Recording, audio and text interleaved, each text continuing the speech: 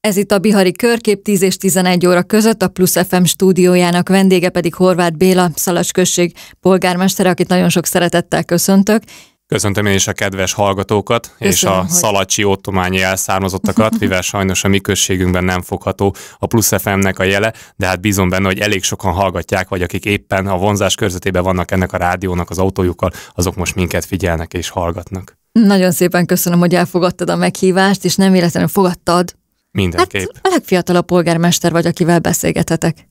Hát valószínűleg most a teremben mindenképp én vagyok a legfiatalabb polgármester, de azon kívül is ugye Bihar megyébe én vagyok már már a nyolc éve a legfiatalabb polgármester, és hát igyekszem ennek a címnek megfelelően is viselkedni, megpróbálni az ifjúságot folyamatosan előtérbe tolni és rajtuk segíteni.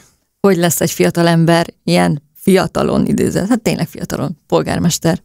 Hát ennek megvan amúgy a e, múltja, ugye legfőképpen onnan indul az egész, hogy már licista koromban is súli újságot szerkesztettem, aztán majd jött az NMD-s évek, a Nagyvárdi Magyar Diák Szövetségben végeztem aktív szerepet, ott rengeteg rendezvényt szerveztem, ott pedig látták, hogy milyen ügyesen tudok széket pakolni, és akkor úgy gondolta Cseke Attila, akkori egészségügyi miniszter, hogy felvesz engem az irodájára, hogy végezzem el a titkárnői munkát, abba is igyekeztem helytállni, és hát e, tudták otthon a faluba, hogy nagyon ügyes titkárnő lett belőlem, és úgy gondolták, hogy megkérnek, hogy nem indulnék polgármesternek. Többen megkerestek otthonról a községből, és hát e, elvállaltam magát a jelöltséget, és hát csodák csodájára 24 évesen megválasztottak egy jóformán fiatal, nagyon fiatal embert polgármesternek. Én bízom benne, hogy nem csalódtak ebben az emberek, amúgy mert ugye négy évvel ezelőtt visszaválasztottak, most pedig nagy valószínűséggel még ellenjelöltem sem lesz, és ennek nincsen semmilyen más háttere, csak egyszerűen a lakosság valószínűleg még a bizalmát őrzi velem szemben. Nem érezted tehernek akkor, hogy ennyi mindent el kell látni, ennyi feladatra oda kell figyelni?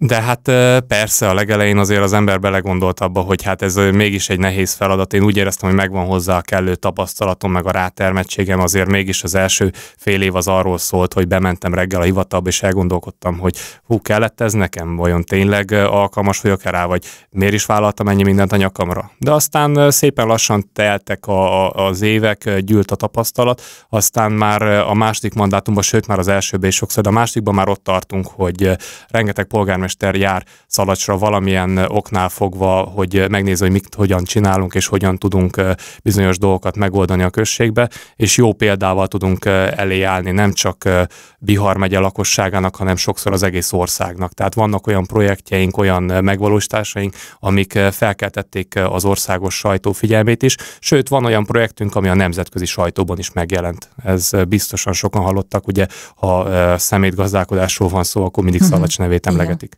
Így van. Melyek azok a projektek, amelyek a legnagyobb büszkeségeid? Megvalósítások?